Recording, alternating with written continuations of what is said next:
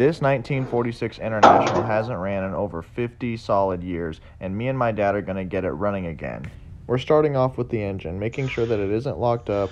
We're going to blow out the intake, which is what I'm doing right here, and we're going to get it underneath a tree so that I can power wash it. Because you want everything nice and clean under there so that when you take stuff apart, nothing falls down into the motor, specifically dirt. But alas, we have no carburetor. We didn't get one when we bought the truck. So we're going to hop in the old first gen and we're going to go pick one up from a friend we know who thinks he has one that will fit that hole. So we're going to hop in this trailer, get the magic carburetor. This one is from a Ford, not an International, but it fits.